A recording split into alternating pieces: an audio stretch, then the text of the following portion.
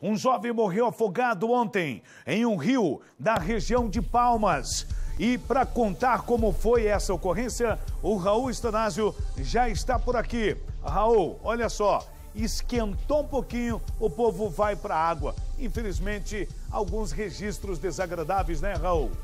Infelizmente, né, Parega? Mas só detalhe nesta informação: Alessandro Souza, ele tinha 23 anos, ele acabou se afogando depois de salvar uma garotinha, aliás, uma criança de 9 anos que estava se afogando. A situação foi registrada ontem, domingo, no Rio Bandeira, que fica no interior do município de Palmas, lá no sudoeste do estado. Segundo as informações, Alessandro Souza, ele estava com amigos e também familiares se refrescando no Rio Bandeira quando ele percebeu que uma criança de 9 anos estava se afogando. Ele não pensou duas vezes, pulou no rio, conseguiu salvar a criancinha mas na sequência ele não conseguiu retornar às margens do rio e infelizmente acabou se afogando. Os bombeiros foram acionados por volta das 4 horas da tarde de ontem. Iniciaram as buscas pelo rapaz. Horas depois, infelizmente, ele foi encontrado já sem vida. O corpo do rapaz foi recolhido e encaminhado ao Instituto Médico Legal da cidade de Pato Branco. Só ressaltar que a garotinha, aliás, que a criança de 9 anos que estava se afogando, ele conseguiu aí salvar ela, Paranga.